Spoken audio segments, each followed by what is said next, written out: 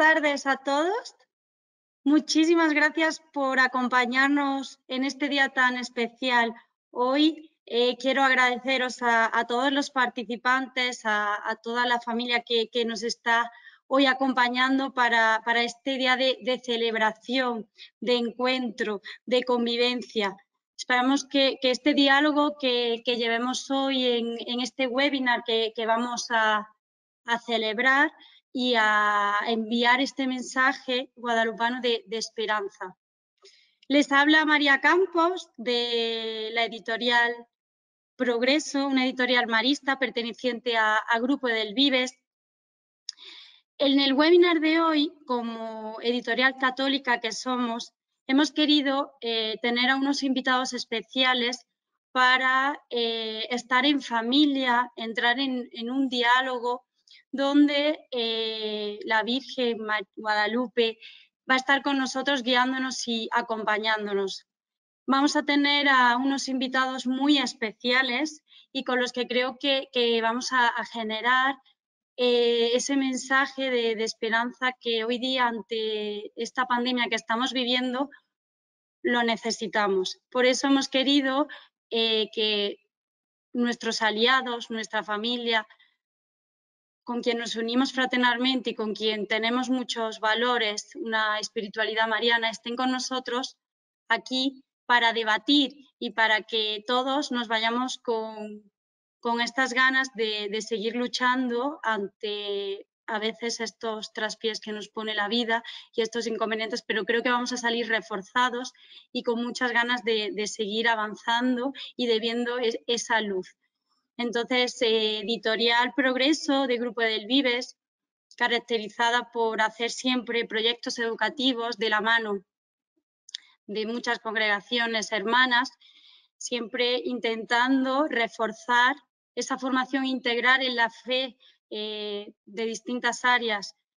Queremos hoy invitarles a todos ustedes a que participemos, a que nos llevemos ese mensaje positivo y a que nos vayamos también con, un aprendizaje.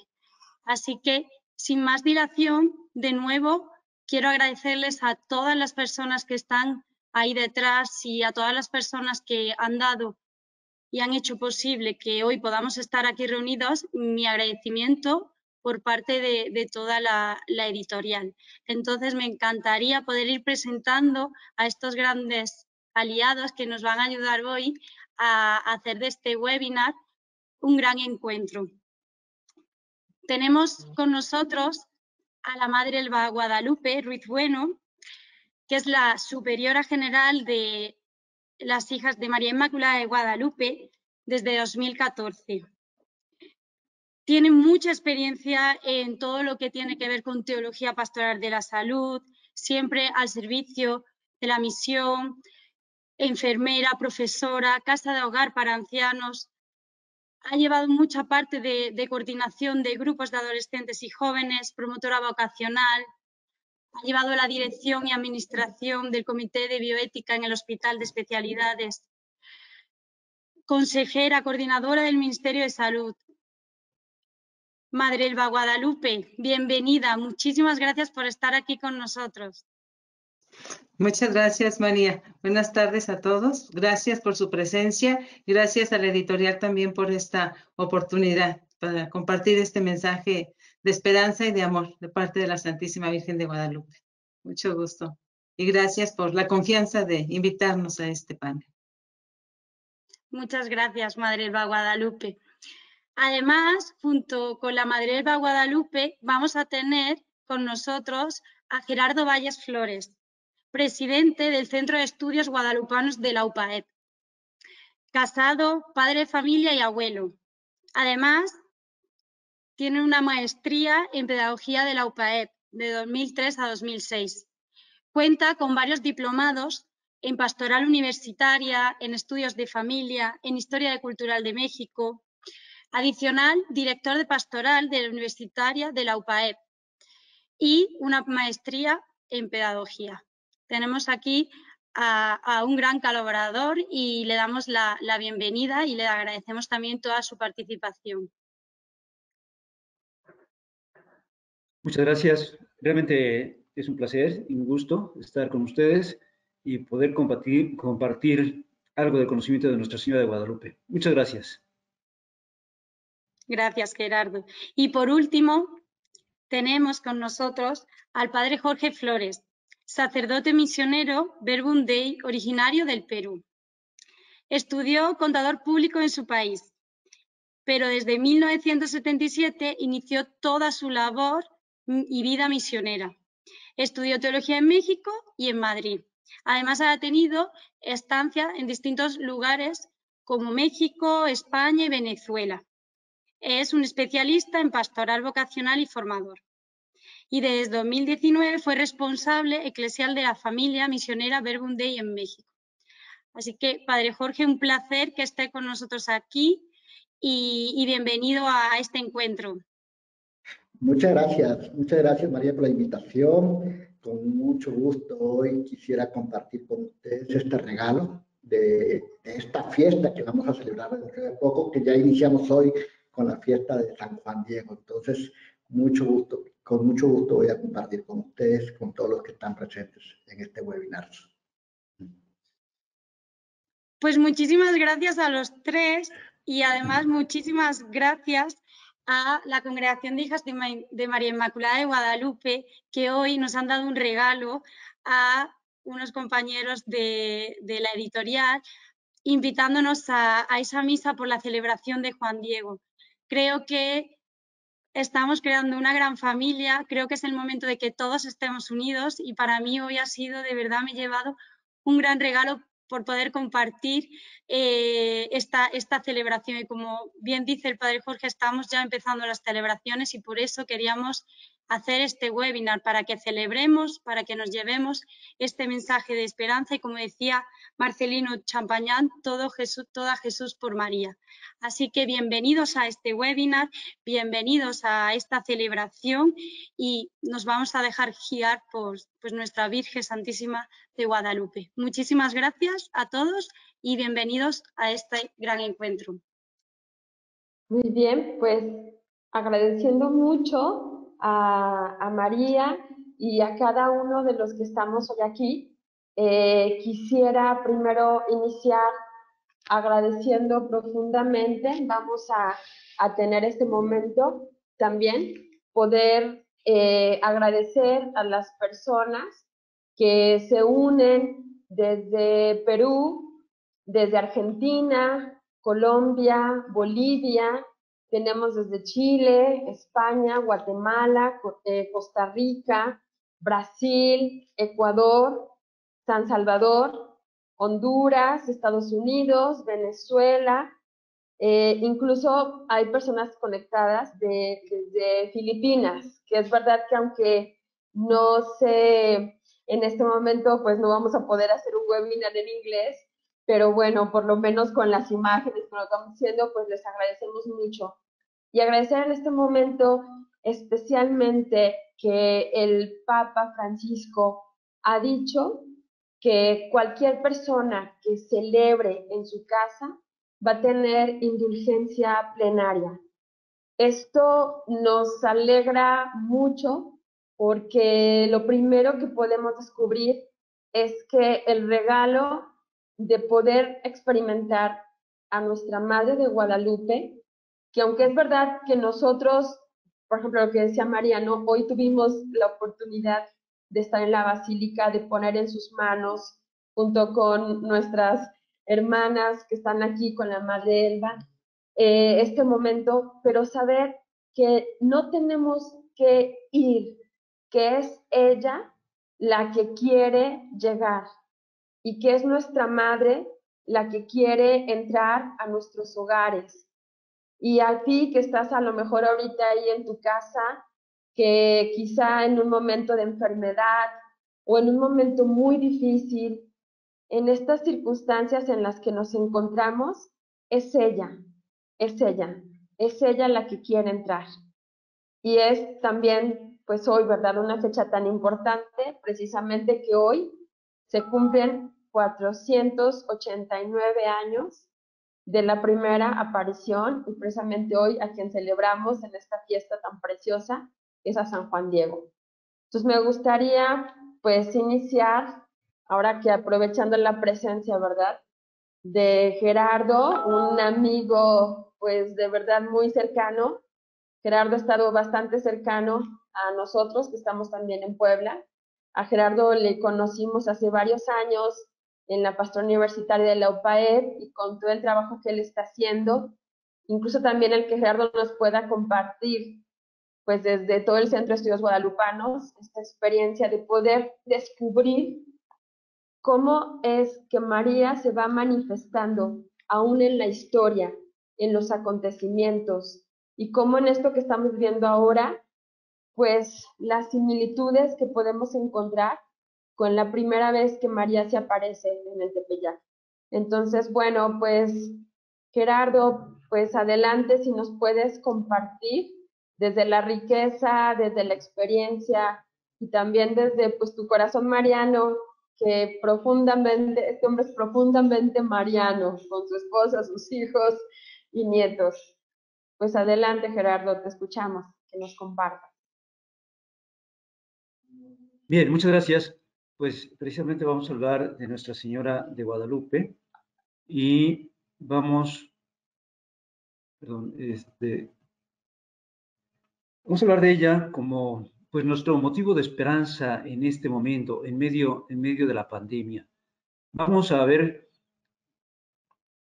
cómo es que ella ha actuado a través del tiempo y vamos a hacer un poco de, de historia.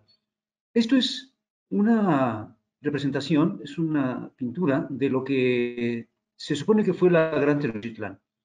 Del lado izquierdo tenemos eh, una calzada que comunicaba a la tierra con el islote de Tenochtitlán y que comunicaba a la tierra por el lado norte en un lugar que se llama Tepeyac, precisamente es la calzada del Tepeyac. Bien, pero ¿cómo estaba la situación en esa eh, época antes de la llegada de los españoles? Vamos a ver no era una situación tan eh, agradable, tan bonita, dado que los mexicas habían hecho un pequeño imperio basado en eh, la guerra, en el sometimiento a los demás pueblos, solamente con algunos de ellos no habían podido, pero lo que hacían era estar constantemente en guerra. No sé si esto nos diga algo, pero la guerra a nadie, a nadie le, conviene. Nos ha dicho el Papa, eh, nos han dicho los papas, la guerra implica muerte, implica destrucción, implica todo lo malo que puede haber para el ser humano. Esa era la situación antes de la llegada de los españoles. Con la llegada de los españoles no hubo un gran cambio, que digamos. ¿eh? Vamos a ver, eh, decíamos, había guerras, había destrucción. Los vestigios que tenemos esa época, por ejemplo, en, el lado, su lado derecho de la pantalla, tenemos lo que se conoce como un zompantli. Eran tantos los sacrificados que los cráneos eran acomodados ya sea en los muros o eran acomodados en, estructuras de, madera, de, varas, eh, para que cupieran más, y eran miles, miles. Todavía eh, el año antepasado se han descubierto más de, estos, de estas estructuras de los zompantlis. Ahora bien, eh, la situación, les decía, no era nada, nada agradable, bollante. Cuando llegan los españoles, pues eh, no cambia mucho tampoco la, situación.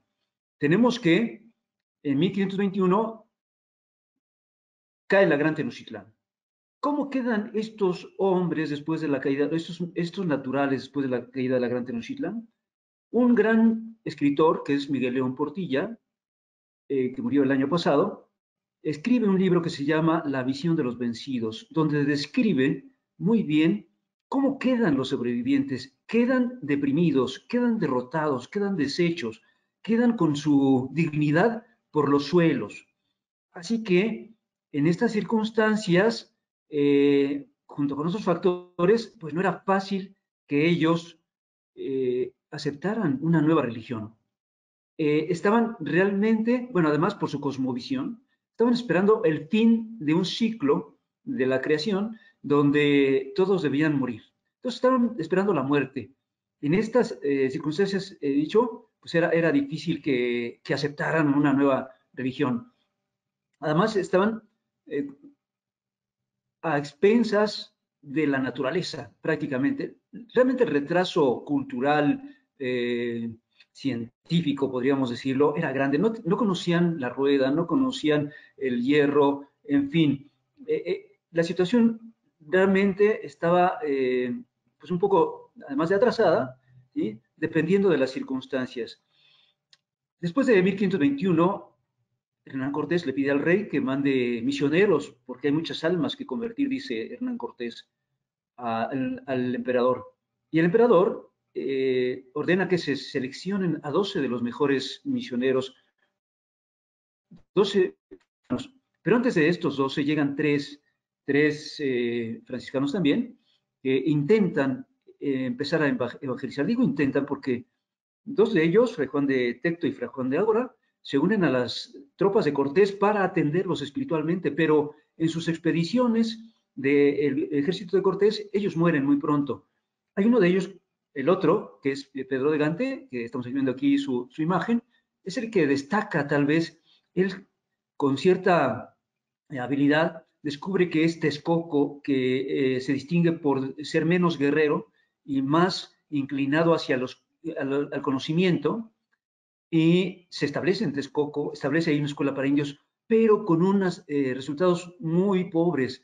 Eh, si ustedes ven el catecismo que él utiliza para eh, enseñar a los niños, el catecismo pues era sumamente rudimentario, hecho con dibujitos, porque él no sabía todavía el náhuatl. Con todas esas circunstancias, pues empiezan a tratar de evangelizar.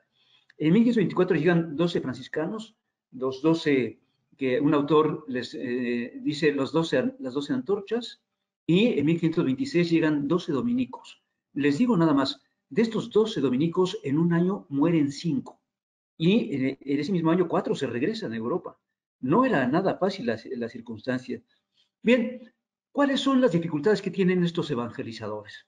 Primero, la desproporción numérica. Más o menos son 20 eh, sacerdotes o frailes dos frailes, eh, dos sacerdotes que venían con Cortés, tres que llegan, que ya hemos mencionado, doce franciscanos que llegan después, y de los doce eh, dominicos que quedan nada más tres, eh, más o menos son 20, pero para, para evangelizar a 10 millones de almas les tocaba de muchísimo, les tocaba, bueno, y estos 10 millones es un, es un estimado, porque los historiadores y los arqueólogos no se ponen de acuerdo, algunos hablan de alrededor de 5 millones de los habitantes que había aquí y otros hablan de que habían más de 20 millones. Bueno, por eso he puesto un promedio de 10 millones.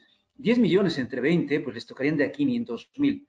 Pero no solamente eso, sino que eh, ya, ya hemos dicho, los eh, dominicos se enfrentan con un problema eh, del medio ambiente que les hace morir a 5 de inmediato, bueno, el primer año. la alimentación, la altitud, el clima, las distancias, ellos viajaban a pie, eh, no era nada fácil para ellos. Entonces, ese es otro limitante. La otra limitante, las lenguas. Se encuentran aquí 130 lenguas diferentes. Eh, como decimos, la tenían en chino. Bueno, no la tenían en chino, la tenían en náhuatl, en otomí, en totonaco, en, zapoteco, en, fin, 130 lenguas diferentes. No era nada fácil empezar una, labor de evangelización donde se tenía que comunicar y convencer para que aceptaran eh, la, religión cristiana. La otra, la religión antigua, no era tampoco fácil decirles, ¿saben qué? Sus dioses son el verdadero. Cuando esto lo hace Hernán Cortés en frente de Moctezuma, le llama la atención el padre que va junto con Cortés, el padre Olmedo, le llama la atención y dice, oye, así no se hacen las cosas, tenemos que empezar poco a poco y convencerlos. Bien, y por último, por si fuera poco, el mal testimonio de los, de los españoles. El primer presidente de la Real Audiencia hace de las suyas, empieza a esclavizar, llega eh, junto con él el primer obispo y además defensor de indios, eh, Fray Juan de Zumárraga, Juan de Zumárraga le reprende, le llama la atención, pero Nuño de Guzmán intenta matar a Zumárraga. Con esto, en el eh, Zumárraga le escribe una carta al rey acusando a, las autoridades españolas y además eh, le dice, casi no se han convertido los indios. Dice casi textualmente en una carta que le manda al rey en 1529, si Dios no interviene con remedio de su mano, esta tierra está a punto de perderse, dice, dice Zumárraga. ¿Qué quiere decir esto? Yo ya no puedo. También eh, en otro escrito, dice, esto no es posible. Son muy pocos los indios que se han convertido. Regresémonos a Europa, dice este, eh, Motolinia. Y Zumárraga también dice, esto no se puede. Si Dios no interviene, esto, esta tierra está que se pierde. Y pues Dios interviene. Esta carta se escribe en 1529 y en 1531 tenemos que se da el gran acontecimiento, el gran acontecimiento guadalupano. Tenemos que en el gran acontecimiento, eh, bueno, ya saben ustedes, un día como hoy, hace 490 años, un 9 de diciembre, va eh, uno de estos eh, nativos ya converso a la doctrina, a, Tlatelolco. pasa para atravesar el lago, tiene que utilizar una calzada, que es la calzada de Tepeyac, que la mostrábamos en un principio. Y al atravesar el lago, más bien para atravesar el lago, pasaba junto a un cerro, el cerro de Tepeyac. Descubre algo bellísimo, que en, primer lugar dice, yo soy merecedor de esto, escucha cantos bellísimos, ve un resplandor, va, a donde está el resplandor en la punta del cerro y encuentra a lo que a, quien él llama la Señora del Cielo. Y la Señora del Cielo le habla en su idioma, le habla por su nombre, además en diminutivo, y le dice, Juanito, Juan Dieguito, el más pequeño de mis hijos. O sea, yo soy tu, tu madre, tú eres mi hijo, pero no cualquier hijo, el más pequeño. Que entre los mexicanos todavía tenemos la costumbre de decir, el más pequeño es el mimado, el chiqueado, el consentido, el que es más cuidado. Eso somos para la Virgen de Guadalupe. Lo entiende plenamente Juan Diego y después Juan Diego lo transmite a, todos sus eh, conciudadanos y así vemos que Juan Diego eh, recibe ese primer impacto. Por supuesto, él ciertamente no había nacido en Tenochtitlán, había nacido en un pueblo a un lado, ya en el continente, que es Cuautitlán. Sin embargo, los de Cuautitlán habían sido aliados de Tenochtitlán, de los Tenochcas, y eh, por tanto se sentía también derrotado, como lo menciona Miguel León Portilla. Así derrotado, así deprimido, se encuentra una, una señora que habla por su nombre, en su idioma, en diminutivo, que deja ver que lo quiere, que deja ver que lo ama. Por supuesto, su dignidad se eleva, se eleva. Y Juan Diego, entonces, eh, pues acepta y va aceptando a la, señora. Ya sabemos la historia, a, grandes rasgos, ella le pide que vaya con el obispo, eh, él va ese mismo día, 9 de diciembre, el obispo lo recibe ya tarde y lo oye, pero no lo escucha.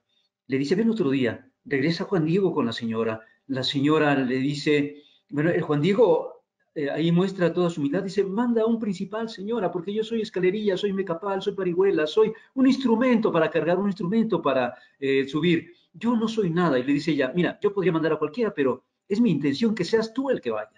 Así que Juan Diego va a dormir a su casa a Tulpetlac, decíamos, él es de Cuautitlán, pero vive ya en otro pueblo junto con su tío en Tulpetlac. Va a dormir y al otro día muy temprano se encamina otra vez hacia el centro de la Ciudad de México, hacia el centro de México en ese momento, y se entrevista con el obispo y el obispo ahora sí le dice, mira, está bien, pero dile a la señora que te dé una señal para así mejor creerte. Regresa ese día, que ya estamos hablando del día 10 de diciembre, le dice esto a la señora y la señora dice, ven al otro día y te doy la señal. Juan Diego va a su casa a Tulpetlac y se encuentra con que su tío está muy enfermo.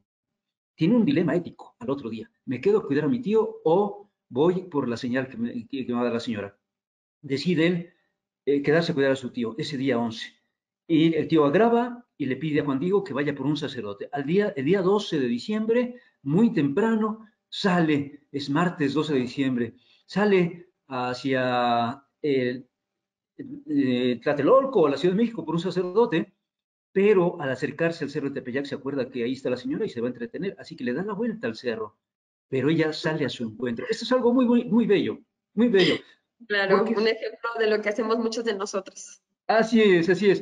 Eh, este, cuando nos hacemos, decimos en México guajes, cuando nos hacemos tontos, a veces tenemos un dicho también que es, no, no, te hagas que la Virgen te habla. A lo mejor de aquí viene ese dicho. Este, bueno, así, que de ahí viene, Gerardo, yo creo que de ahí viene. Ahí está, bueno, Juan Diego se encuentra con la señora. Al principio le cambia la conversación y le, dice, eh, niña mía, ¿cómo está su cuerpecito? ¿Cómo amaneció el día de hoy? Le dice, Nican Mopogua, que es la narración de estas apariciones que estamos viendo aquí. hablan de una delicadeza en el trato, de una cordialidad, de una forma de tratarnos que es un mensaje y es una enseñanza para todos. Bueno, y en ese momento ella le dice, ¿a dónde vas? Él le dice, voy con un sacerdote porque un, eh, un siervo tuyo está muy enfermo. Aquí, fíjense, ya está Juan Bernardino muy enfermo. Aparentemente allá había una epidemia y una primera, eh, una epidemia que se narra en la historia, le llamaban cocolisli. No se sabe qué, qué, enfermedad era en ese tiempo. Pero entonces ella le dice las palabras que casi todos conocemos, ¿no? ¿Qué te preocupa? ¿Qué te ha de menester? No estoy yo aquí que soy tu madre.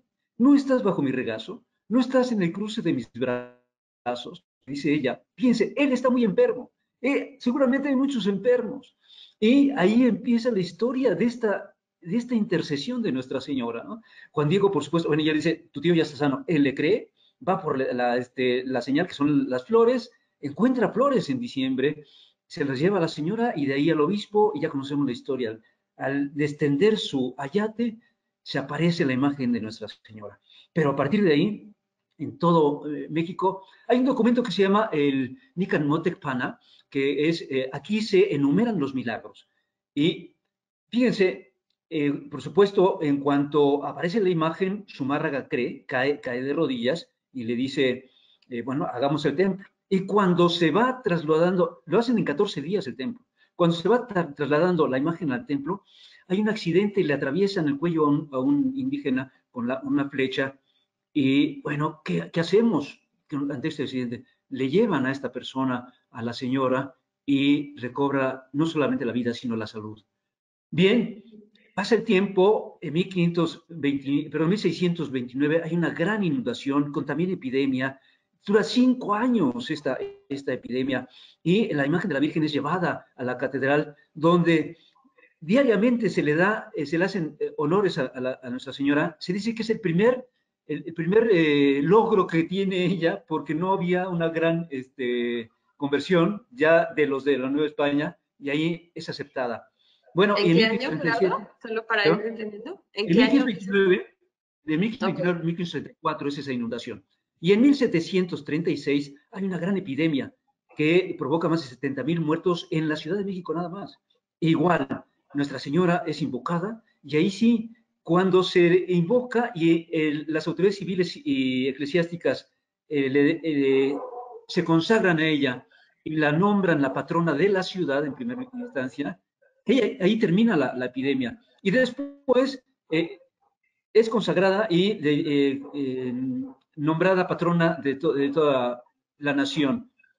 Ya, ya, saben ustedes, después de esto se le da una imagen al Papa en ese tiempo, 1537, el Papa Benedicto XIV, y es cuando dice la gran, esta gran expresión, no ha hecho cosa igual con ninguna nación, dice, dice, dice reconoce, no solamente que se apareció aquí, sino que nos ha acompañado. ¿no?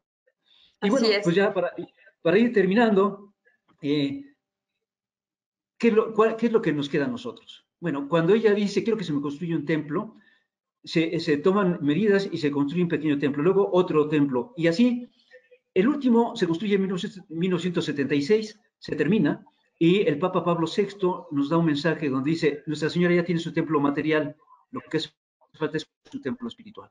Ese es, es, nuestra sociedad, una nueva sociedad que después va a ser conocida, bueno, denominada por, por Pablo VI primero y después por Juan Pablo II como la sociedad del amor, perdón, la civilización del amor. Es lo que nos toca construir. ¿Con qué tabiques?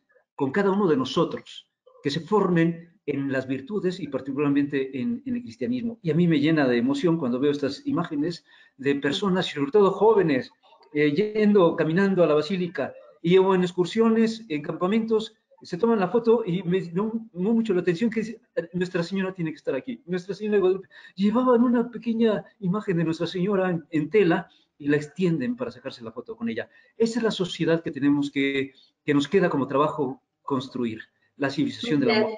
Pues muchas pues gracias. Muy bien, Gerardo. Y, y, bueno, quisiera también decirles a las personas que nos están viendo y escuchando que, que si tienen preguntas, las pueden ir anotando en el chat. Tendremos un momento también para que nos puedan contestar nuestros panelistas. Y claro, sé que es muy interesante, incluso lo que nos ha dicho Gerardo, bueno, ha sido muy rápido, pero es para darnos cuenta la trascendencia del momento que vivimos y tan similar a cómo ha sido la historia. Entonces, gracias Gerardo. Ahora quisiera invitar a la Madre Elba Guadalupe.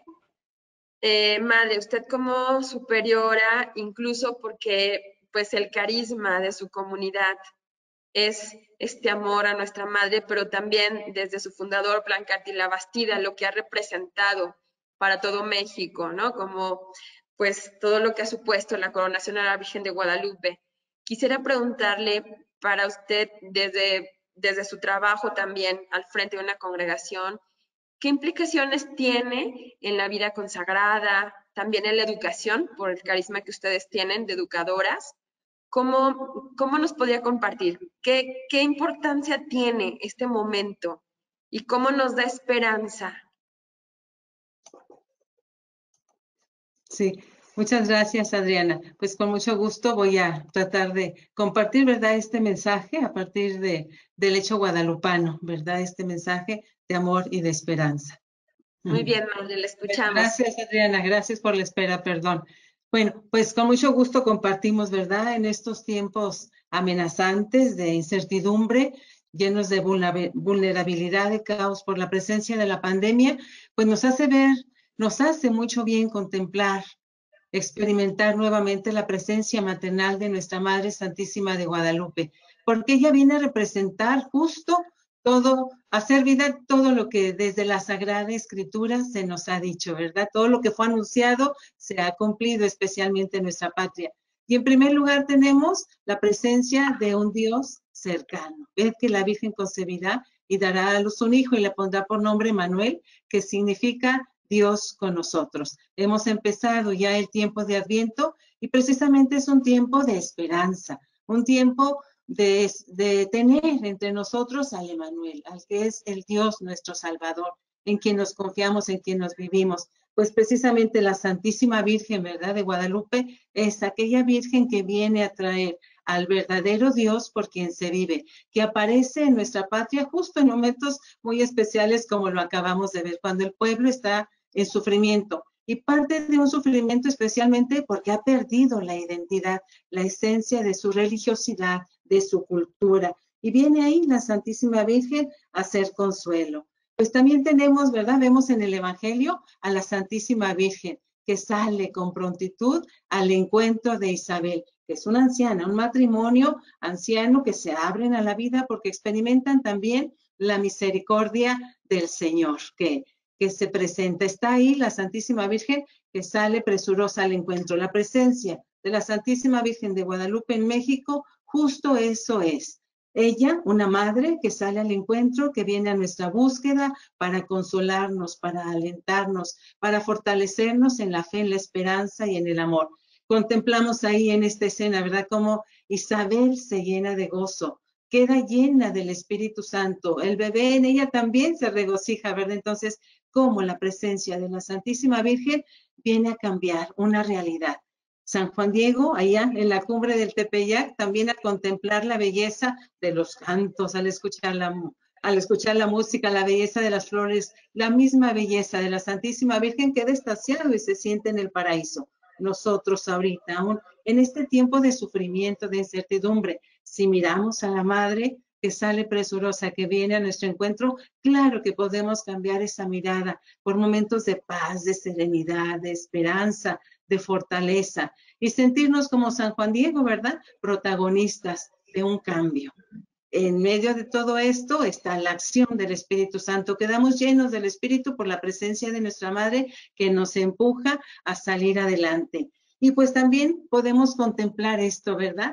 Justo Jesús nos entrega el último regalo que le quedaba algo asombroso, la presencia de nuestra madre en un, en un ambiente de dolor, de incertidumbre, de la incomprensión de la cruz, ¿verdad? Donde parecía que aún el Padre guardaba silencio, ahí está Jesús asombrándonos. Mujer, ahí tienes a tu hijo. Hijo, ahí tienes a tu madre. Hoy, en estas realidades, en estas circunstancias, una vez más escuchamos esa palabra y aquí tenemos a la Santísima Virgen de Guadalupe acompañándonos, alentándonos. No estamos solos. Justo la pandemia vino a cambiar, ¿verdad? Muchas realidades, a poner retos en la vida familiar, laboral, económica, en el campo de la salud, de la educación. pero aquí está la madre, la madre compasiva, ¿verdad? Que nos dice y nos repite una y otra vez, yo soy vuestra piadosa madre. ¿Cuál es la invitación? A contemplar como ella, guardar en el corazón estas palabras de Jesús, he ahí a tu madre, y las mismas de ella, yo soy tu madre, estás en mi regazo, corres por mi cuenta. Bueno, después de estos pasajes bíblicos, ¿verdad? Que nos fundamentan también el hecho guadalupano, pues nos concentramos nuevamente en este mensaje de amor y de esperanza que esto supone. Entonces tenemos a María, que es una mujer de sí a la vida. Yo soy la madre del verdadero Dios por quien se vive. Estamos en un momento, pudiéramos decir, de muerte, y no solo por la pandemia, las ideologías que estamos viviendo, ¿verdad? Los, pisos que traemos, el afán de poder, de tener, cuánta cosa, ¿verdad? Que aparentemente quita de escena al verdadero Dios por quien se vive. Y ahí está la madre recordándonos quién es el camino, quién es la verdad, quién es la vida, Él, el Hijo amado. Entonces es una mujer también que se abre al amor y al amor de los amores, al amor con mayúsculas. Ciertamente nos viene a pedir un templo, ya no lo decían y lo recordamos aquí. Ardo deseos que se me construya un templo para mostrárselos a Él, a Él que es compasión, a Él que es misericordia, a Él que es auxilio en la salvación. No me vengo a dar yo, vengo a dar a Jesús, como lo hizo allá con Isabel también. Ella iba al encuentro, pero ¿a quién llevaba en las entrañas? Al verbo, al verbo que se encarna, que se hace nuestro hermano mayor. Es una mujer de sí a la esperanza activa. En estos tiempos podemos tomar dos actitudes. Una, este, culpar ¿Quién tiene la culpa? El gobierno. ¿Quién tiene la culpa? Los científicos. ¿Por qué me enfermo? ¿Por qué no me enfermo? No, no. Ahorita. La segunda es, somos protagonistas de un cambio. Nos podemos sentir débiles, acobardados, impotentes, como San Juan Diego, manda otro, ¿verdad? Va otro que investigue, otro que resuelva, otro. No, no, es del todo preciso que tú vayas. Tú eres mi embajador muy digno de confianza. Hagamos nuestras estas palabras. María, mujer de sí, a la esperanza activa. Esperemos, confiemos, pero trabajemos con valor y confianza, poniendo todo nuestro esfuerzo como San Juan Diego. Esta presencia de la Santísima Virgen, pues ciertamente, ¿verdad? Nos trae este mensaje de esperanza y de liberación que nos impulsa. Y la invitación es a tener esas palabras en nuestro corazón, a de saber que la Virgen nos lo dice a nosotros, Ojalá quede grabado en tu corazón, hijo mío, el más querido. No es nada lo que te espantó, no es nada lo que hoy nos espanta, lo que nos aflige, lo que nos perturba, ¿verdad? No hay que temer ninguna enfermedad, ningún mal si tenemos a la Santísima Virgen porque nos recuerda, no estoy yo aquí que tengo el honor de ser tu madre, no estás bajo mi amparo, no soy yo tu alegría, no estás en el cruce de mis brazos, miren qué hermoso sentirnos ahí en su corazón y entonces podremos sostenernos en la esperanza, en el amor, que nada nos angustie, que nada nos espante. ¿Qué implicaciones tiene esto? Nos preguntaba Adriana. Bueno, pues vamos a ver. Y en primer lugar, la vida consagrada. Y lo retomamos también de las mismas palabras de San Juan Diego, cuando la Virgen le dice, hijito mío, ¿a dónde vas? ¿A dónde te diriges? ¿Qué dice él? Voy a tu casita de Tlatelolco a recibir las cosas de Dios, de quienes nos enseñan, de quienes son imágenes de Dios. Y ahí está la palabra clave, la vida consagrada. Los sacerdotes también somos la imagen de Dios. Debemos dar, como María, al verdadero Dios por quien se vive. ¿Y cómo hay que hacerlo? Pues asumiendo este estilo guadalupano, esa manera de ser y de actuar de hablar el lenguaje de la gente, de encarnarnos, de asumir su cultura, de tocar el corazón. Y fíjense, nuestros diferentes carismas en la vida religiosa justo nacieron por realidades muy concretas, para tocar el corazón, para tocar el sufrimiento. Tenemos eso, ¿verdad? En nuestras manos. Hagamos el bien desde aquí. Y pues son tres cositas, tomar conciencia de la identidad, salir al encuentro, sabernos portadores de vida y de esperanza. Tomar conciencia de la identidad, en primer momento, nos llama la atención, ¿verdad? La Santísima Virgen se presenta. Yo soy la madre del verdadero Dios. Yo soy vuestra piadosa madre. Entonces, ¿quién es? Pues preguntarnos, ¿verdad? Y en ella y en Cristo somos amados, somos escogidos, somos enviados, Hablo en femenino, soy hija, soy madre, soy consoladora, soy asistente, soy evangelizadora. Cada una puede poner aquí lo de su carisma, ¿verdad? Soy quien se conmueve ante el sufrimiento del hermano y actúa en consecuencia.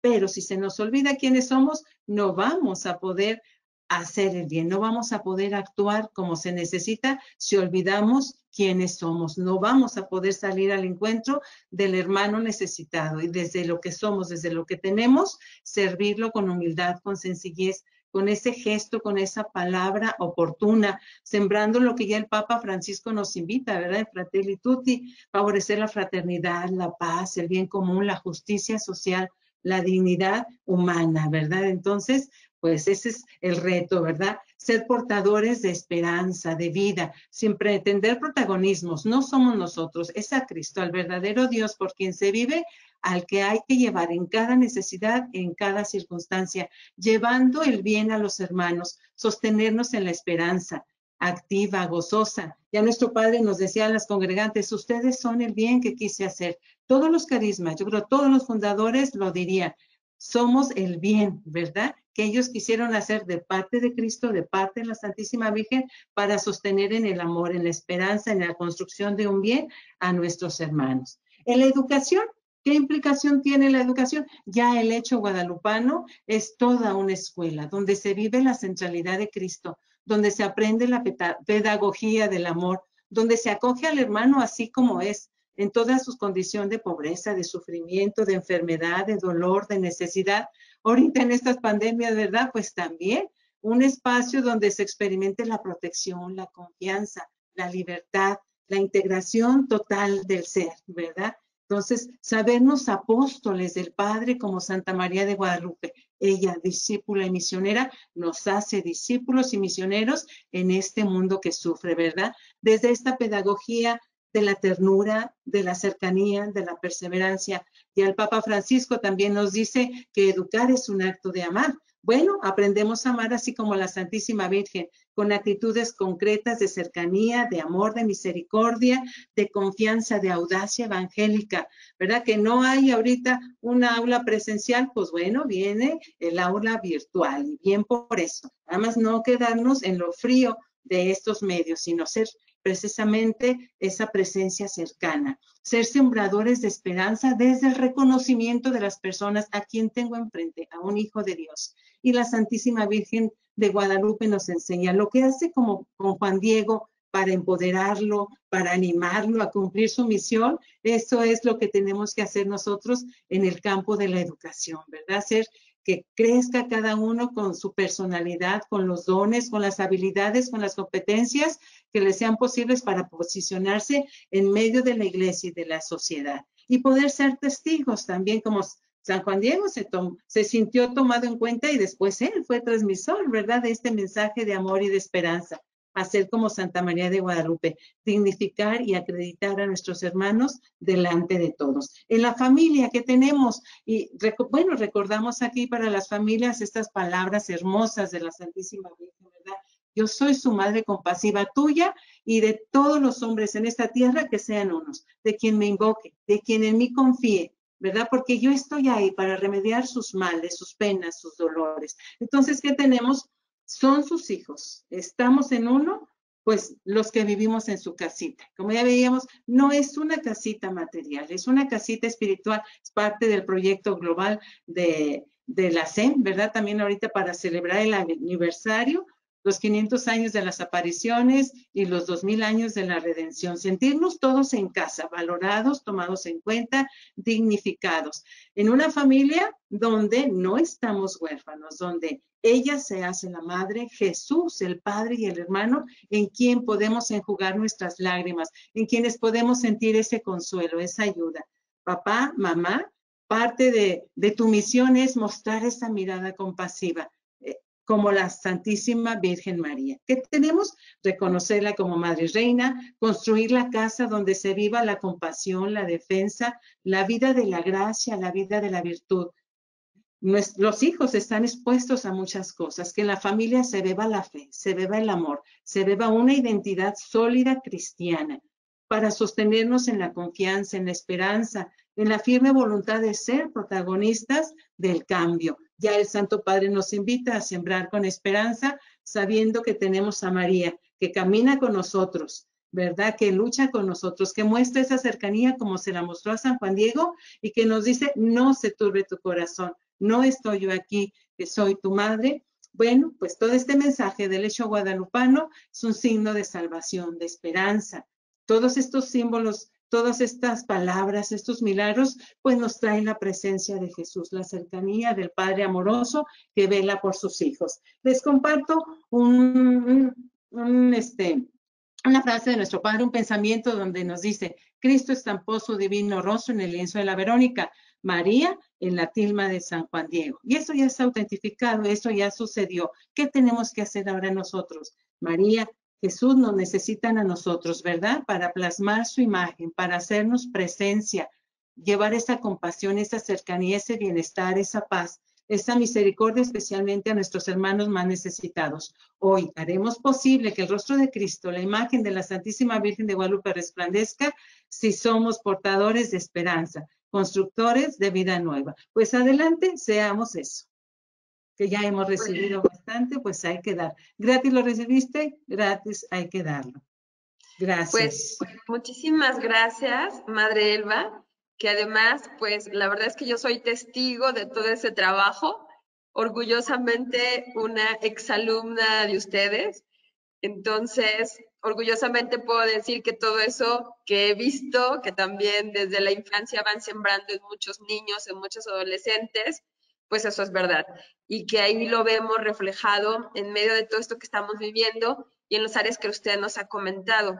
Creo que este punto que, que comenta, pues ahora eh, también quisiera invitar a las personas porque nos ha hablado mucho de esa parte de fundamentación bíblica. Entonces, me parece muy importante con lo que ha dicho, si hubiera personas interesadas en profundizar en ese tema, porque a lo mejor no nos da el tiempo y ya le invitaremos a lo mejor para otro, pero hay un libro, de hecho, que se ha publicado por la editorial Progreso, que es acerca de María desde los Evangelios. Entonces, es un libro que, ahorita con lo que nos ha expuesto la Madre Elba también nos puede servir como una bibliografía para poder entender. De hecho, este libro, bueno, ya nos pondrán allá en el chat, pero pues se puede solicitar, ahí nos pondrán en el chat, cuesta 195 pesos el libro, pero para que también todo esto que nos ha comentado la Madre Elba, de ver esa parte desde las escrituras, como desde las escrituras también la presencia de María es tan importante. Bueno, madre, pues ahora que la gente también tenga preguntas, invitaría a las personas, a quien guste, que pueda preguntarle a la madre algo de lo que ha expuesto, que pueda también desde su experiencia, desde su experiencia como enamorada de Jesús, pero portadora del mensaje también guadalupano, que nos lo pueda compartir y enriquecer. Muchísimas gracias. Quisiera ahora invitar al padre Jorge, que es un misionero peruano, pero un peruano perdido en México, perdido, hallado en México. Jorge, muchas gracias. A ver, dinos, ¿qué hace un peruano misionero hablando ahora de las apariciones de la Virgen de Guadalupe? Pues yo creo que como peruano que soy, bueno, doy gracias a Dios por mi origen, por mi cultura, por todo lo que tengo, pero también tengo que agradecer a Dios por haber conocido muy de cerca eh, la experiencia de tratar, de experimentar el amor de la Virgen de Guadalupe. Creo que para mí ha sido el mayor regalo. Si, si yo le puedo decir a México ¿Qué regalo me ha dado México a mí? Ha sido el regalo de tener una madre como la Virgen de Guadalupe. Creo que eso es lo, más grande que yo he podido recibir y por eso creo que puedo hablar de la Virgen de Guadalupe y al mismo tiempo eh, yo creo que pues también la misma iglesia la proclamó como emperatriz de América, reina de América. Entonces, como, como soy del continente americano, creo que me siento parte de esta de esta tradición tan hermosa, de, esta revelación de nuestra madre a su pueblo. Yo, y aparte, no solamente lo dijo la iglesia, ella misma lo dijo, la madre, por ahí yo vi en sus escritos, sobre todo que estaba presentando, cuando después de haberle pedido a Juan Diego para que le construya un templo en aquel lugar, le dice, lo pide porque yo soy vuestra madre, compasiva, tuya y de todos los hombres. Dice, no solamente dice de ti, no, sino de todos los hombres que están en esta tierra. Y de los demás variadas estirpes de hombres, mis amadores, los que me busquen, los que confíen en mí. Entonces, como yo confío en la Virgen, pues soy su hijo también. Entonces, qué bonito pues que hoy, hoy quisiera compartirme con ustedes pues todo este hecho guadalupano, ¿no? De toda esta experiencia misionera, porque yo soy misionero también, creo que es lo que, lo que me puede lo que puedo compartir. Este, pues a lo mejor desde ahí, Jorge, si nos puedes compartir también desde tu experiencia misionera y bueno, pues también a cargo de toda la familia misionera a la que también representas con tantos jóvenes, adultos, niños, matrimonios, eh, misioneras, misioneros, matrimonios misioneros, laicos, con todo, con todo el, así que con todo el pueblo de Dios. ¿Cómo, ¿Cómo María puede imprimir este sello misionero, este sello evangelizador? incluso desde tu propia experiencia, lo que nos quieras compartir también. Yo, eh, por el tiempo, solamente voy a compartir un aspecto que me parece muy importante, que es la, la relación íntima con nuestra Madre, la Virgen de Guadalupe. Porque yo creo que a veces nos han enseñado solamente a rezar. Y está bien rezar, creo que es, eh, es parte también de nuestra de nuestra idiosincrasia, de nuestra tradición religiosa y de lo que la Virgen misma nos ha pedido que recemos el rosario también. Pero también creo que tenemos que aprender a tratar de manera cariñosa, afectiva con nuestra Madre la Virgen. ¿Y lo, por qué lo digo? Yo cuando he leído este texto, que por ahí creo que algunos están preguntando sobre este libro, es un texto antiguo, que se llama el Nican Mopowa. Es un escrito muy antiguo que donde se revelan las apariciones de la Virgen de Guadalupe. Y algo que yo ya lo he leído muchas veces, este libro, y algo que me llama mucho la atención es la relación tan cariñosa y afectiva que tiene Juan Diego con la Virgen de Guadalupe y la Virgen de Guadalupe con Juan Diego. Una relación de trato muy afectiva. Y yo, una cosa este, Adriana, que quiero comentar también aquí. Yo no creo que ese escrito haya quedado nada más como un ejemplo para que veamos cómo se relacionó la Virgen con Juan Diego. Yo creo que ese escrito ha quedado para que también nosotros, como Juan Diego, aprendamos a tratar con la Virgen así, de manera afectiva. Fíjense, ya nos decían algunos textos por ahí, pero quiero repasar rápido algunos de esos textos cuando le dice, cuando apenas se le aparece la Virgen, le dice, este, Juan Diego, eh, por tu parte le responde Juan Diego, señora mía, reina mía, muchachita mía, que yo, que no anguste yo con pena tu rostro, tu corazón. Y ya le dice, con todo gusto iré a poner por obra tu aliento, tu palabra. De ninguna manera lo dejaré de hacer. Y así, ¿no? Y un cariño que le, con el que le dice eh, Juan Diego a la Virgen, todas las palabras que, que, le, que le comparte. Y luego, luego, cuando ya le dice la Virgen más adelante, ¿quién está, hijito mío? Volverás aquí mañana para que lleves al obispo la señal que te he pedido. Y cada momento, ¿qué, qué pasa? El más pequeño de mis hijos, ¿a dónde vas? ¿A dónde te diriges? Y, y yo veo como que ese, ese trato de Juan Diego con la Virgen, mi jovencita, hija mía, la más pequeña, niña mía, ojalá que estés contenta. ¿Cómo amaneciste? Le pregunta, ¿no? Y yo digo, de verdad que cuando yo, le, cuando yo recién leí este texto por primera vez, yo decía, mamá, enséñame a tratar así contigo, porque es algo tan hermoso que a veces no lo hemos visto nosotros, de verdad. Eh, yo una de las cosas que quiero compartir nada más, y creo que esto es lo que me gustaría compartir también, no solamente ya decirles, traten con la Virgen así, sino que también desde una experiencia que yo viví cuando vine como, como misionero a, a México. Eh, yo había venido aquí ya como misionero desde la Fraternidad Misionera y pues vine aquí a Guadalajara, tenía un mes aquí, pero llegó un momento que me llegó la crisis, con muchos miedos, temores, ya tenía ganas de irme, había que pues no me acostumbraba, tenía mucho frío, yo soy una, de una zona de mucho calor en, en el Perú, y, y, luego después pues la comida, el chile, y bueno, y luego la vida fraterna, me costaba mucho la relación con mis hermanos porque éramos de distintas culturas, distintos países, y bueno, a mí me salía el indio peruano también, y bueno, pues ahí era una, una situación muy difícil. Llegó un momento que yo dije, pues me voy de aquí, me voy, no soporto esto y creo que no, no debo estar aquí.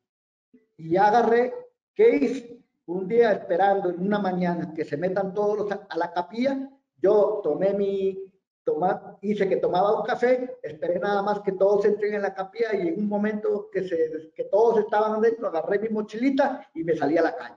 Dije, me voy. Fue una locura, la verdad, porque yo, yo después pensaba, ¿cómo me voy a ir? Después dije, dije pues eh, me iré a, las esquinas de las calles a pedir dinero para ver si alguien se compadece de mí y así conseguiré para irme. Pero la verdad era una locura. Empecé a caminar como oído por unas calles ahí de que apenas un mes no conocía mucho. Llegué a una plaza, a un parque ahí, y cuando miro hacia un costado, veo una iglesia abierta. Y dije, voy allí para pedirle perdón a Dios por esta locura que voy a hacer. Pero para pedirle perdón, pero yo de todas maneras me voy, dije yo. Y bueno, después supe más adelante, en ese momento no lo supe, después supe que justamente la iglesia que entré era el santuario de la Virgen de Guadalupe. Como yo tenía un mes, no la conocía. Y entonces... o sea, que te pasó como Juan Diego. La Virgen te salió al encuentro. Me salió al encuentro. Bueno, pues yo entro allí y cuando yo entro allí veo en el frontis, en toda la parte circular, adentro ya de la, de la, de la iglesia, que decía una frase que nunca me voy a olvidar, que decía, no temas, hijito mío, ¿no estoy yo aquí acaso que soy tu madre? Mira, ese momento yo me puse a llorar, llorar, llorar ahí, me puse de rodillas y por primera vez yo experimenté la voz de la mamá que me decía, hijito mío, no temas, hijito, yo estoy contigo, yo soy tu madre.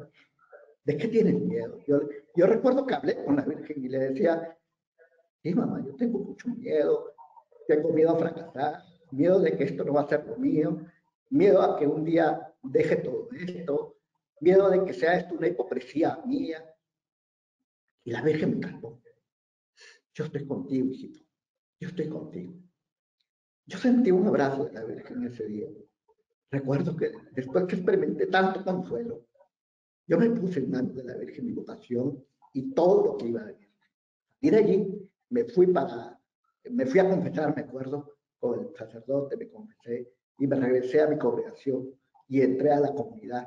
Y cuando llego a casa les digo, yo ya me estaba yendo, pero la Virgen de Guadalupe me regresó. Gracias a ella. ha sido una experiencia en mi vida misionera. Eh, creo que el trato con la Virgen es lo que me ha salvado mi vida, mi vocación y todos los momentos de, de, mi vida. Por eso, ¿a qué quiero invitar yo como misionero? Eh, quiero invitarles a ustedes que me escuchan a tener ese trato afectivo, cariñoso con la mamá.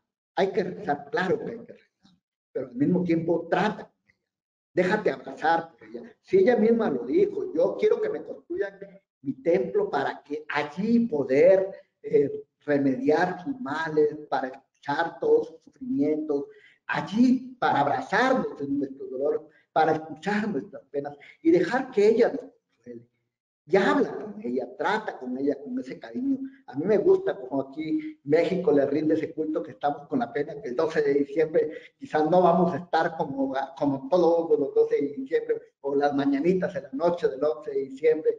No vamos a estar, pero creo que de corazón pues vamos a estar en nuestras casas. Hoy la Virgen de Guadalupe en estos días va a estar más de lleno, pero en nuestras casas, en nuestros hogares, porque ahí vamos a vivir lo que ya el Papa ha puesto, lo de la indulgencia plenaria, y allí vamos a estar con nuestra madre. Yo les invito de verdad. Y qué bonito que yo, y termino con esto también, es que la Virgen se haya aparecido a, a Juan Diego. No se le apareció primero al obispo, a los sacerdotes, a los religiosos, sino a un laico. A un laico, es decir, la Virgen se acerca a las familias en medio del mundo, en medio de tu realidad, en medio de los ambientes. Y allí con tu sencillez no se necesita grandes cosas para ser misionero. Él se, no, él se sentía nada, él se sentía pequeño, se sentía humilde, y sin embargo allí, allí se, eh, se estremeció la Virgen. Pues qué regalo tan grande, Diana, que Dios nos, nos, ha dado, ¿no? Pues pongo en manos de la Virgen este tiempo, estos días, y que nuestra Madre nos ayude y nos enseñe también a tratar con ella. Pues muchísimas gracias, Jorge. Yo creo que muchos de nosotros nos sentimos identificados. Yo también, en mi caso igual, como matrimonio misionero, me he sentido muchas veces identificada con esas palabras. Conviene que sean ustedes mis mensajeros. Y eso que has dicho es muy importante. Muchas veces los laicos volteamos a ver a los sacerdotes o a las religiosas pensando que solamente es una responsabilidad de ustedes el llevar la palabra, el evangelizar. Y sin embargo, el que precisamente Nuestra Señora de Guadalupe haya escogido a un hombre sencillo y laico, nos hace descubrir que todos, todos somos misioneros, que todos somos portadores de esperanza. Aunque estemos en nuestra casa y cuidando a nuestros hijos y cocinando y a lo mejor con enfermedad, con personas mayores enfermas en casa, allí somos misioneros. Y quisiera, pues, en este momento también invitar a los demás panelistas a que puedan abrir también sus cámaras y que en este momento, miren, en este momento es un momento también para muchas familias muy difícil, muy difícil. Sabemos que ahorita hay en varias casas, pues, personas que están viviendo un momento pues ayer precisamente hablaba con una persona que su esposo ha sido detectado con COVID y está en el hospital. Hoy mismo, muy temprano, otro, otro familiar pues con una situación bastante difícil. Otra persona que, de hecho, incluso ahorita entre las personas que están escribiendo, nos están pidiendo que este momento sea un momento de orar también por las necesidades de nuestras familias, por las necesidades de, de no solamente nuestro México, sino poder orar por los cinco continentes. Incluso me gustaría poder agradecer a cada uno de los lugares en los que pues se han ido conectando, porque este es un momento que nos une. Incluso quisiera pues antes de las preguntas pedir que donde quiera que cada uno se encuentre, después de haber escuchado a Jorge, después de haber escuchado a Gerardo y a la madre Elba, pudiéramos en este momento, ¿les parece si rezamos un Ave María todos juntos? Cada quien en donde se encuentre, ya sea en, aquí mismo en México o tenemos mucha gente ahorita de Perú, de todas partes. En este momento, incluso el Papa Francisco lo ha dicho, no vayan a la basílica porque mamá, nuestra madre, va a venir a nuestra casa. Entonces, ¿les parece si este momento, antes de entrar a preguntas, vamos a, pues, a ponernos todos en este momento como en ese contexto que estamos viendo de pandemia y comprometernos también que nosotros podemos ser portadores de esperanza. Dios te salve María, llena eres de gracia, el Señor es contigo Bendita eres entre todas las mujeres, y bendito es el fruto de tu vientre, Jesús. Santa María, Madre de Dios, ruega por nosotros, pecadores, ahora y en la hora de nuestra muerte. Amén. En esta simple Ave María sabemos que nos unimos los cinco continentes y en torno a nuestra Madre. Y también quisiera comentar que en Filipinas también, no solamente sucede que la Virgen de Guadalupe es verdad que es emperatriz de América, pero también de Filipinas. Y a mí que me ha tocado estar en Filipinas, les podría decir que en una ocasión también, en, estando en Manila, en medio de una crisis existencial un poco fuerte, lo primero que, que me salió al encuentro fue la Virgen de Guadalupe en, en la Catedral de Manila.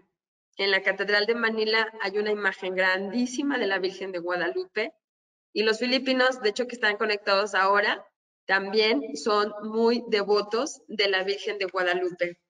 Así es que pues estamos ahorita unidos los cinco continentes ahí con una misma mamá.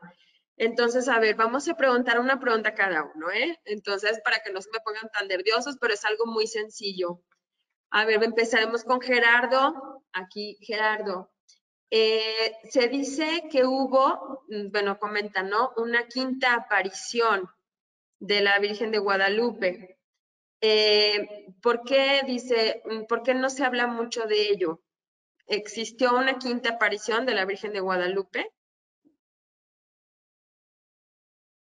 Muy bien, sí. Bueno, realmente es, eh, depende de cómo llevemos el, ahora sí que el conteo. En el primer día, Juan Diego se encuentra con nuestra señora dos veces. El segundo día, una vez, eh, ya son tres. Y el, el día 12 eh, se encuentra otra vez dos veces, cuando ella sale a su encuentro y después de que regresa, después de haber subido al cerro, ¿no? Entonces ahí ya no nos dan este, eh, la cuenta. Se asume esta cuarta aparición como una sola, cuando ella le pide que suba al cerro y cuando regrese. Pero la quinta que se suele decir es aquella que realiza ella con eh, Juan Bernardino. La, quinta aparición es la que sucede cuando ella le dice, eh, ten por seguro que tu tío ya está sano. En ese momento, ella se aparece con el tío, le da la salud a, este, a Juan Bernardino. Y hay un templo, en, precisamente en Tulpetlac, que así se llama, el, templo de la quinta aparición, recordando, se asume que también ahí estaba la casa de, Juan Diego de Tulpetlac, pero esta es, la quinta aparición cuando ella da la salud a, Juan Bernardino. Sería eh, también significativo en este momento, ¿no? La quinta aparición, cuando da la salud al tío Juan Bernardino. Muy bien, pues muchísimas gracias Gerardo, porque yo creo que también el poder ir identificando todos estos detalles nos ayuda para entender. Ya luego te estaremos invitando en más ocasiones para que nos vayas dando pues también, porque conocer a la Virgen en todos los detalles, en ese aspecto nos hace también dar mayor cimiento a nuestra fe. Mm, Madre Elba, mm, hay una pregunta, me imagino que, que, hay varios, pues como yo, ¿verdad? Exalumnos y también hermanos espirituales. Entonces, la pregunta es, ¿de qué manera se va involucrando en la congregación a los exalumnos, a los hermanos, también en estos momentos de pandemia? pero también cómo se les va involucrando pues entre los consagrados, la, familia extensa guadalupana en estos momentos, cómo se hace este trabajo con ellos para involucrarles también en poder ser igual, ¿no? Que ustedes pues portadores también ellos como laicos a sus profesores. ¿Cómo lo hacen?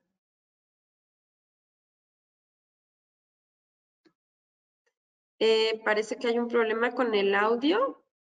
A ver, no le escuchamos. No sé. A ver, ahora ya está.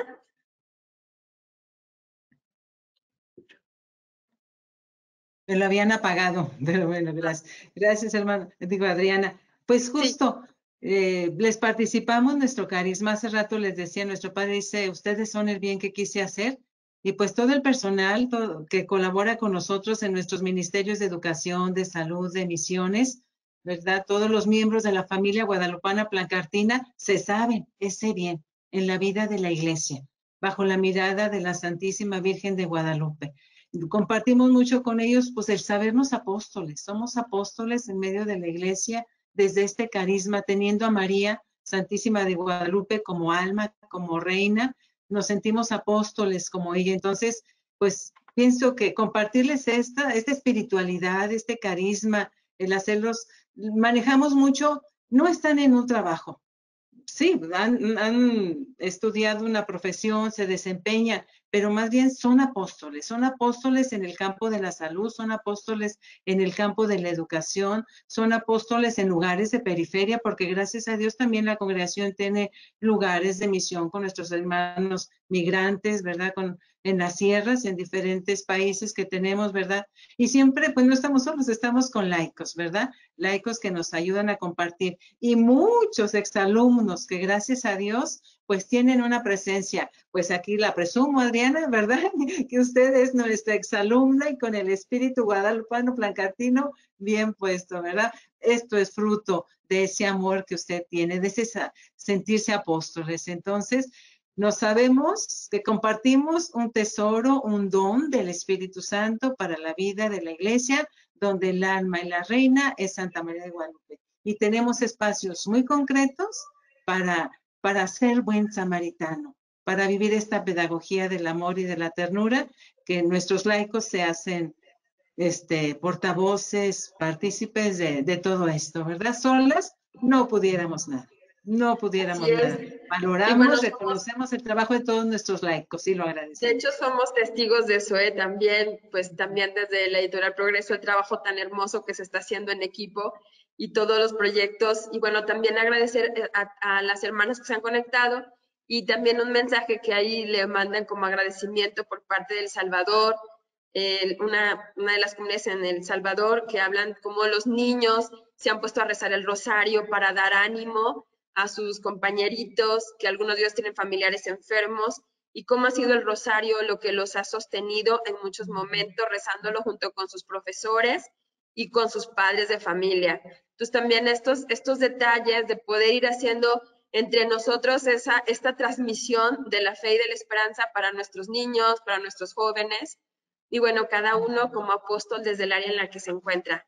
Sí, Adriana, si me permites, o sea, en este tiempo de pandemia hay unos testimonios maravillosos de la vida de familia, que desde ahí, desde el confinamiento, con un corazón abierto, muy conscientes del sufrimiento de la humanidad, con su oración, con su solidaridad, ¿verdad? Con su ayuda a un material, se ha podido ayudar a familias muy necesitadas, de circunstancias muy especiales. Ahí hemos tenido la oportunidad de participar. Y también pues tenemos el Ministerio de Salud, este, invaluable el trabajo de nuestras hermanas, de todo el personal de salud expuesto, ¿verdad? Esta, a esta enfermedad y manteniéndose, ¿verdad? Ahí al pie del cañón sosteniendo a nuestros hermanos. Entonces, es un testimonio de caridad increíble, que uno pues se queda, ¿verdad? Anonadada por esta gracia, que es la vida de Dios, ¿verdad? En estas almas, niños, jóvenes, adolescentes, adultos. Lo agradecemos a Dios. Claro, y que también el, Papa Francisco lo ha valorado mucho, ¿no? Como esos gestos de esperanza en medio del dolor.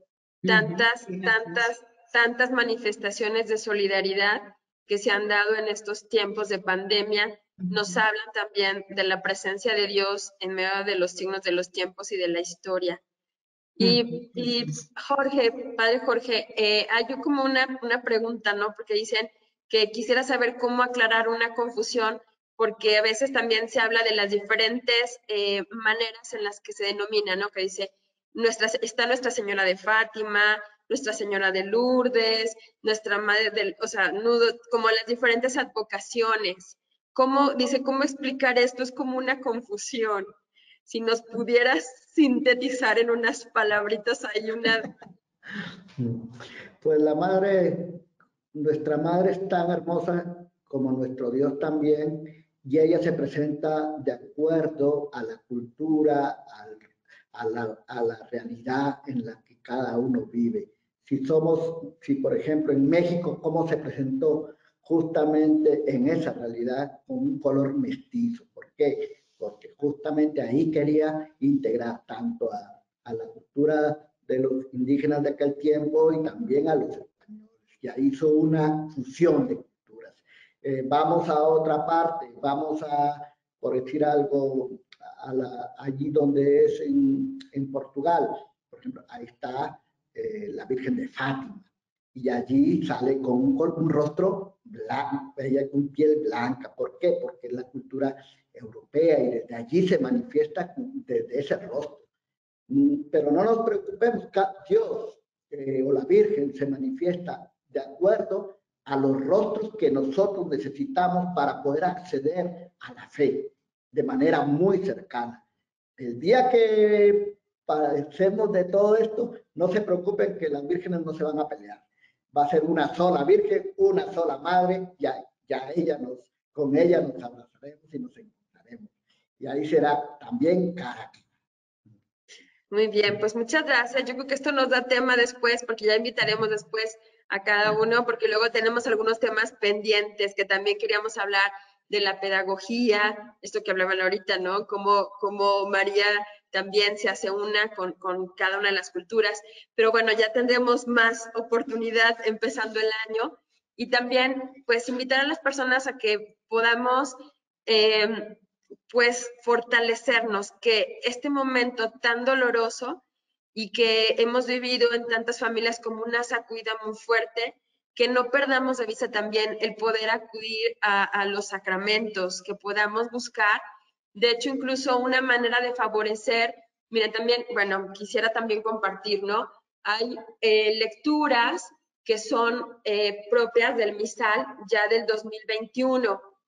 Eh, quisiéramos también invitar a las personas a que pudieran incrementar esa vida espiritual, participar lo más posible en la Eucaristía, saber que son medios, pero que de otra manera es no solamente llegar a veces a, la misa sin saber nada de lo que va a tratar, sino poder preparar incluso a nuestros propios niños, porque es la manera en la que podemos ir educando y formando.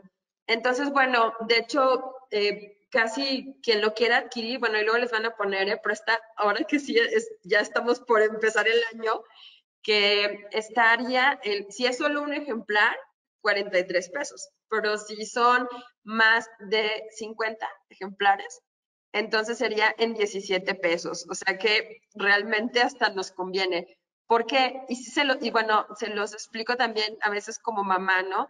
A veces cuando uno a los niños les quiere como favoreciendo el gusto por aprender a vivir los sacramentos, también conviene pues favorecer un momento como familia de prepararnos y de preparar el corazón.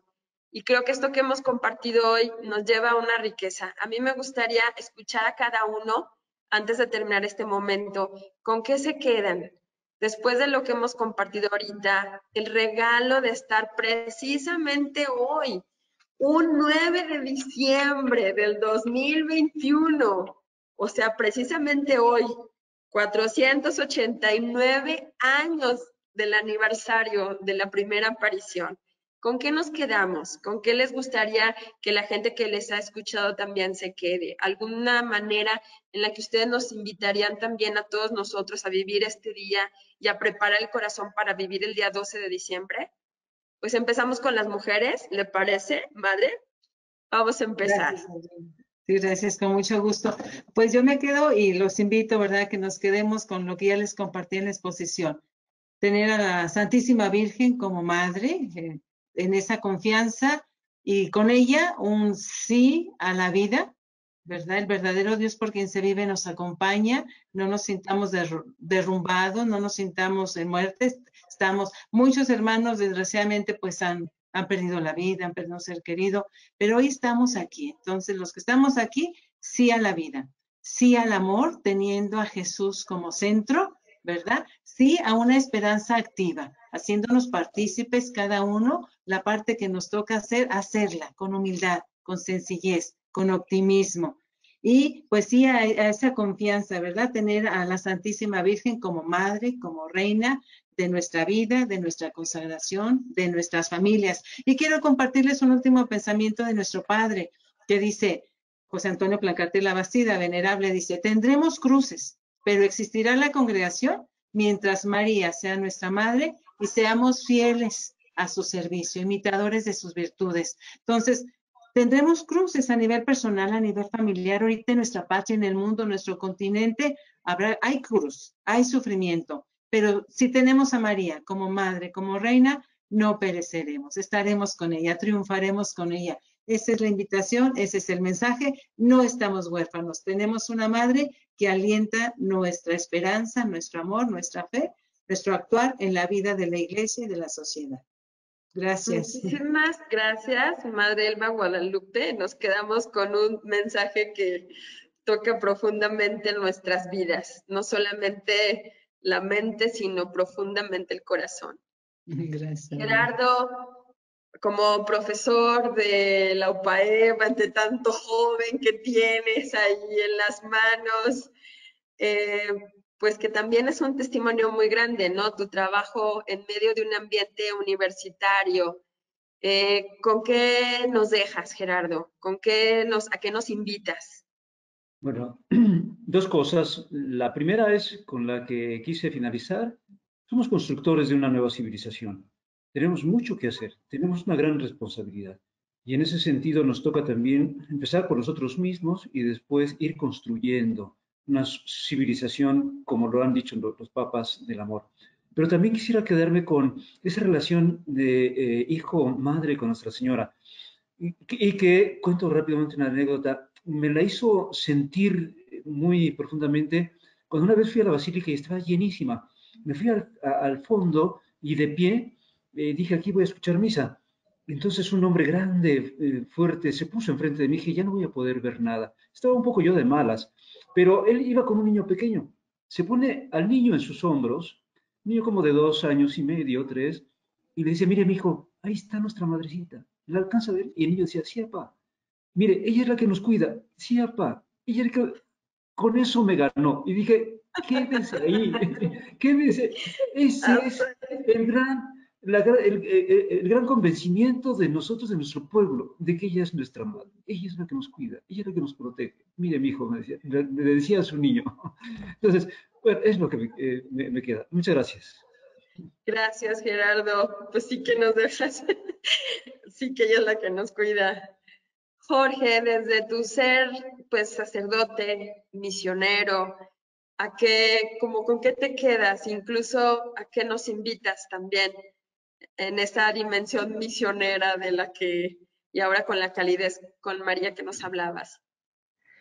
Mira, este, Adriana, nuestro fundador nos decía siempre una frase que me llamó mucho la atención, que el fundador de nuestra comunidad Bermudey, Jaime Bonet, nos decía, sin María se vive una orfandad imposible de superar. Yo de verdad querida familia que me estás escuchando, toma a María como madre y verás que no vas a tener ninguna orfandad. Yo vivo muchos años lejos de mi casa, de mi hogar, de mi familia, de mis hermanos, de carne y sangre, pero no experimento la orfandad. ¿Saben por qué? Porque tengo una madre que me acompaña, que me ama, que me habla. Y yo quiero invitarles a que con María realmente podamos experimentar el gozo de ser verdaderos hijos de Dios y que podamos tener esa relación afectiva, íntima y cariñosa con nuestra querida Madre la Virgen de Guadalupe. Pues muchísimas gracias, Jorge, y me sumo porque pues también compartimos al mismo fundador en la misma comunidad y también quisiera desde ahí poder decir la urgencia de llegar a todos. a mí con eso me gustaría quedarme. En María encontramos a una mujer que quiere llegar a todos sus hijos, sea como sea, y que no quiere dar a nadie por perdido, que ella quiere y que tiene una urgencia por llegar a todos sus hijos, aún en el último rincón en el que se encuentren. Entonces, a mí también me gustaría terminar este momento dándonos cuenta que tenemos que ser más atrevidos, que tenemos que ser más arriesgados, que tenemos que ser más lanzados, que no nos dé miedo expresar nuestro amor también a nuestra madre y poderlo vivir en los ambientes en los que nos encontremos, ya sea en el hogar, en el hospital, en la escuela, en el trabajo, donde nos encontramos siempre, pues lo que hemos hecho ahorita no es gran cosa, pero sin embargo el poder compartir la esperanza, el poder ser en medio de un momento tan doloroso como el que vive en nuestro mundo, simplemente pues unos a otros poder decir, hermanos, vamos juntos, ayudémonos, lo que hemos hecho hoy, démonos la mano, no está buscando cada quien para, para sí mismo, ni siquiera para su propia congregación, ni siquiera para su propio instituto, sino como hermanos, hijos de una misma mamá independientemente de la nacionalidad que tengamos, independientemente de la edad o de si somos consagrados o laicos, somos todos hijos de ella. Entonces me gustaría terminar este momento, pues también vamos a poner un video que nos ha compartido la Madre Elba como un regalito del día 9 de diciembre. Es un video de una canción que precisamente una de las hermanas, que Sandra Luz, eh, la hermana Sandra Luz Navarro, ha pasado por la enfermedad del COVID y cómo en medio de su enfermedad, ella esa oración y ese momento lo ha vivido en las manos, pues así, de la Santísima Virgen de Guadalupe. Y también antes de poner el video me gustaría agradecer, parece que no, pero miren, detrás de esto hay mucha gente y quisiera agradecer a María, que fue la que inició, ¿verdad? Aún en medio de esto, ahora sí que es un encuentro de, diferentes culturas y de diferentes nacionalidades, pero también detrás hay todo un equipo. Me gustaría agradecer de verdad también a la hermana Margarita Cortés, que ha estado detrás de esto, gestándolo juntas. Eh, también al equipo que está aquí, Ana Luisa, que aunque no la vean, ahí está detrás, a Claudio, a Beatriz Miranda, y bueno, pues a todo el equipo. Quiero de verdad agradecer muchísimo que bueno, pues aquí estamos y que en medio de este momento terminemos con esta canción, haciendo una acción de gracias a nuestra Madre por tanto amor recibido. Pues muchísimas gracias para cada uno donde quiera que se encuentra. Gracias por esta oportunidad. Gracias, Jorge. Gracias, Madrelva. Gracias, Gerardo. Gracias por su tiempo, por todo el tiempo invertido detrás de esto. Y bueno, pues sabemos que esto, la paga es mucha porque es la generosidad de saber poder llegar a través de lo que cada uno de ustedes nos ha compartido, la riqueza de ver también a María en rostros de carne y sangre, que han sido ustedes en este momento esa expresión de su amor que nos quiere manifestar a través de lo que cada uno nos ha compartido. Muchísimas gracias. Y bueno, pues buenas noches, los dejamos con este video.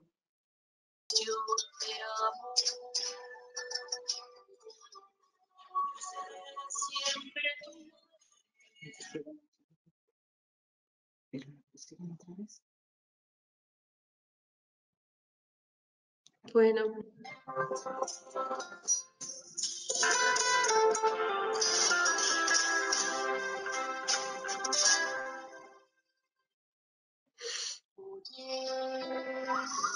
Hija mía, la más pequeña.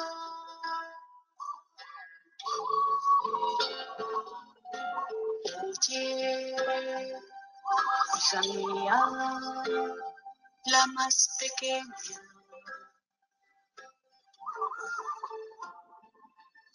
¿A dónde vas? ¿A dónde te diriges?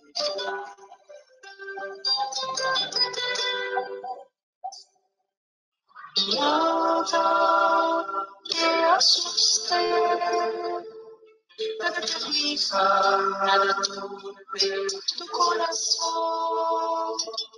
No temas esa enfermedad, ninguna otra enfermedad. No estoy yo aquí, que soy tu madre.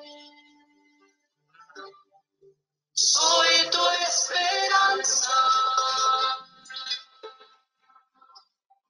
Se bajo mi sombra.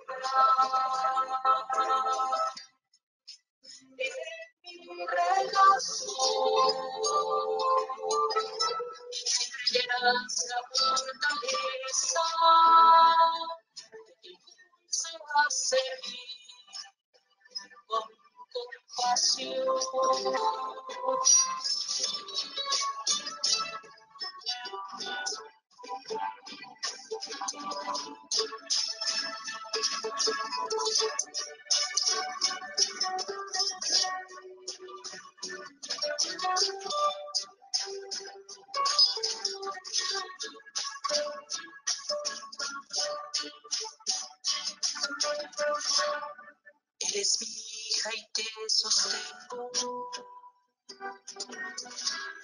Soy testigo de tus lágrimas,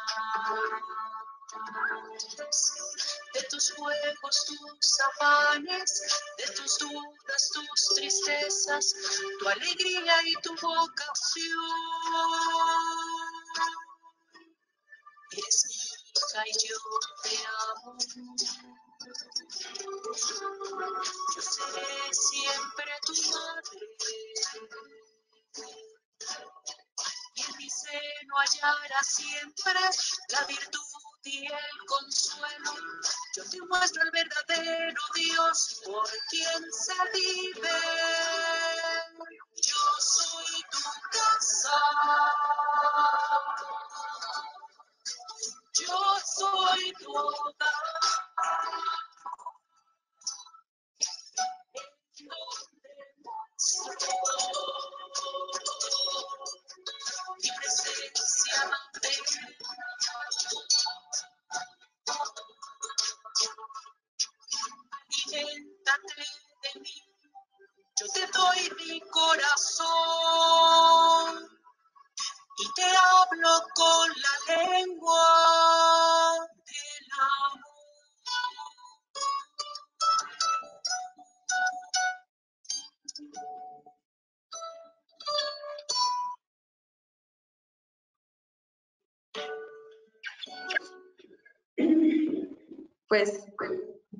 Muchísimas gracias.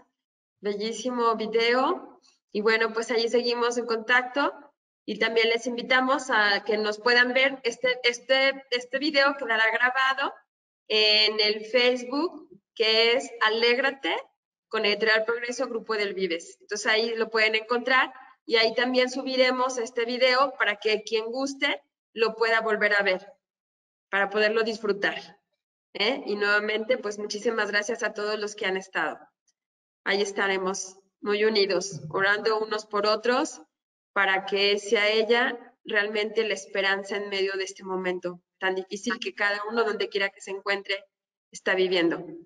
Un abrazo muy fuerte. Muchas gracias. Muchas gracias. Que Dios los bendiga. Muchas gracias. Gracias. Gracias por todo.